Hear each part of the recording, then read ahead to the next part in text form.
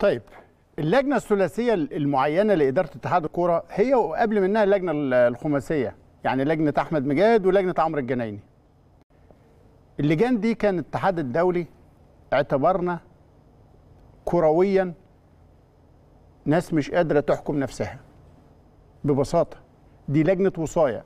الفيفا شاف إن نظام الكره في مصر مش مؤهل إنه يدير نفسه.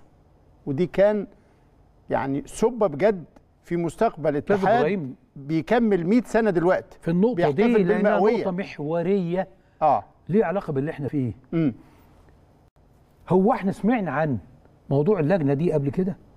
أبدا آه إحنا مصر المؤسسة للاتحاد الإفريقي آه أقدم دول واحدة من أقدم دول العالم في ممارسة كرة القدم اللي خرجت كوادر مذهلة مهم.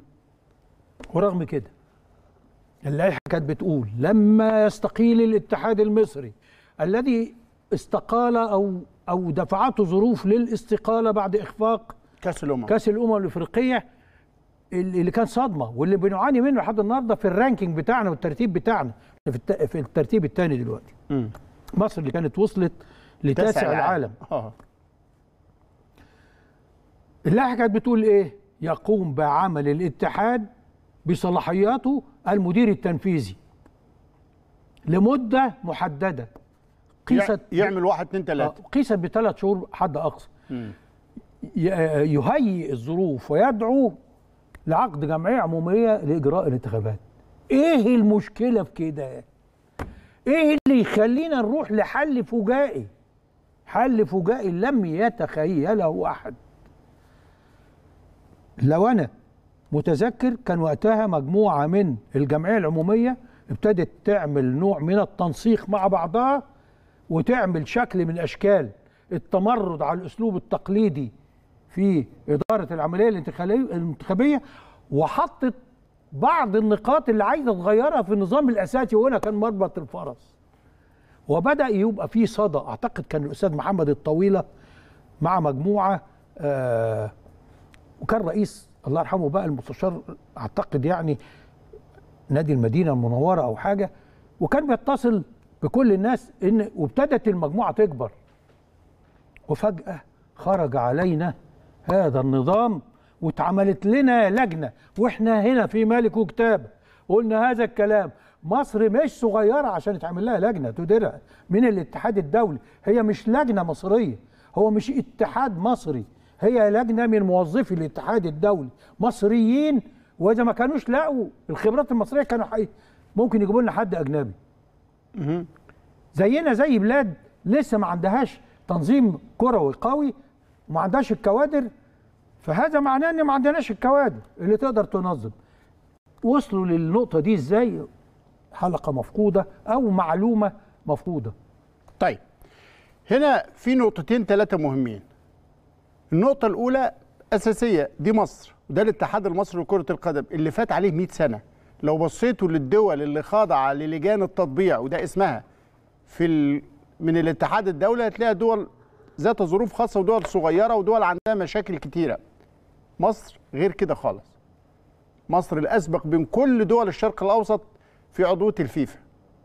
مصر ال- ال- اللي اتحادها كمل 100 سنة. فبالتالي السكوت على سبة التطبيع كلام لا يليق ابدا بقيمة الرياضة المصرية. وأنا هنا بقول دور وزارة الرياضة ودور اللجنة الأولمبية. هو ال- الفيفا ما حدش عارف له سكة؟ هو طريق الفيفا صعب قوي؟ هي مخاطبة الفيفا من قبل الوزارة ومن قبل اللجنة الأولمبية؟ قولوا لنا يا جماعة إيه المطلوب؟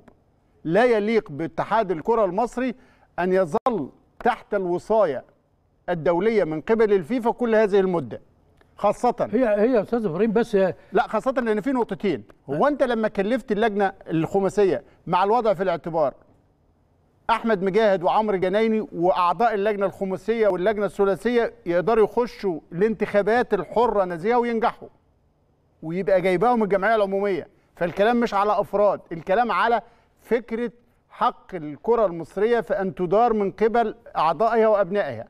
مش بالوصاية الدولية خاصة إنه حتى لجان التطبيع اللي أنت عينتها مرة خماسية ومرة ثلاثية وهناك حديث كبير عن التمديد كانت التكليف ليها تسيير الأعمال واعتماد لائحة النظام الأساسي علشان تجرى على أساسها الانتخابات. تسيير الأعمال اديكم شايفين كل التخبط واصل لفين؟ وامتداد المواسم وتلاحقها وكل الناس بتشتكي وأعتقد أحاديث كثيرة جدا حتى إنه ما تم استحداثه لإقرار العدالة أصبح هو السبب المباشر لانتهاك هذه العدالة في الملاعب. اذا لا حديث عن تسيير الأعمال بشكل منضبط. يبقى الكلام على لائحة النظام الأساسي. هي فين؟ ليه هي حبيسة أنت الأدراج؟ عشان في جمل ما مش عايزين نرجع لها بعد ما نمشي. آه. تسيير تيسير الأعمال. هو من ضمن تيسير الأعمال. إلغاء قرارات وزارية. هو هو هو الحكم الأجنبي لماتشات الأهلي والزمالك ده ده مش قرار؟ ها؟ حتى ده ثبت إنه ما فيهوش قرار. ما فيهوش قرار؟ أمال كان في إيه؟ عرفه ومشي من أيام رئيس الوزراء الدكتور عاطف يعني صدقي. تيجي لجنة. بتس... هي اللجنة دورها إيه؟ اولا اللجنة دي فلسفتها للأندية للمنتخبات أو البلاد اللي ما عندهاش قدرة تفرز اتحادات منتخبه اللجنة دي جاية عشان تعاونها وتساعدها. ان تعدي المرحلة دي. تعدي المرحلة دي بمهام محددة وتخرج من خلالها بانتخابات مؤامه آه. ده مش حال مصر. أي. ده مش وضعنا. آه. ده مش الطبيعة بتاعتنا.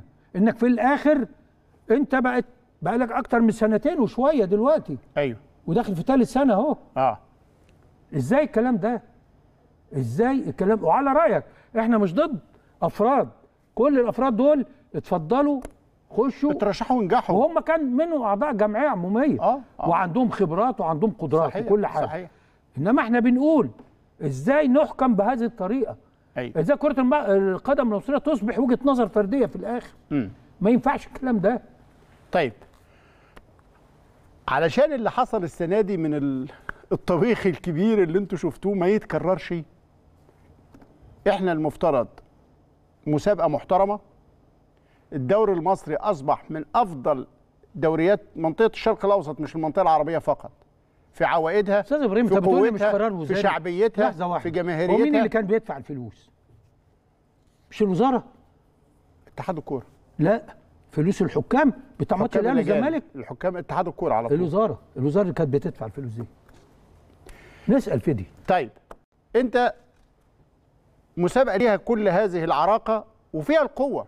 لما تسمع أصدقاء من المغرب يكلموني على قد إيه البطولة المصرية أصبحت جاذبة للاعيبة العرب. قد إيه المغاربة والتوانسة والجزائريين بيفضلوا يحترفوا في الأندية المصرية. وبالمناسبة الأندية المصرية بقت بتدي فلوس الدول النجوم العرب ما بيلاقوهاش عشان كده بيقولك بالظبط. بيجي لك وعنده فرصة بدل ما يروح يلعب في الدرجة الثانية أو الثالثه في فرنسا بنص اللي انت هتديه له لا هيجي لك هنا وهيبقى نجم وعنده فرص يلعب بطولة أفريقيا يلعب للانديه في أفريقيا ويتصيط. ويظهر ويروح منتخب بلاده وشفنا كتير منهم. اذا أنت بطولة جاذبة جدا. مسابقة ليها هذه القوة. أصبحت في شركات كبيرة بترعى فرق زي فاركو وكل الأندية اللي صعدت أندية قادرة على الصرف. يعني المسابقة بيضخ فيها فلوس كتيرة. المسابقة داخلة في مرحلة مختلفة. النادي الأهلي وهو بيتجه لتأسيس وإشهار شركة كرة القدم وشركة الأهلي لكرة القدم بطولة أو شركة هتطرح أسهمها في الب- في البورصة. فبدأنا يحدث لنا نقلة نوعية كبيرة جدا. المحله سبق وحول الشركة إلى فريق شركة أو فريق مستقل أو شركة مستقلة عن للكورة. اذا كل النظام الكروي بتاعنا بيتغير. إيه المشكلة في إن إحنا ما نعملش زي كل العالم المتحضر كرويا والمنضبط في مسابقاته زيه رابطة الأندية المحترفة.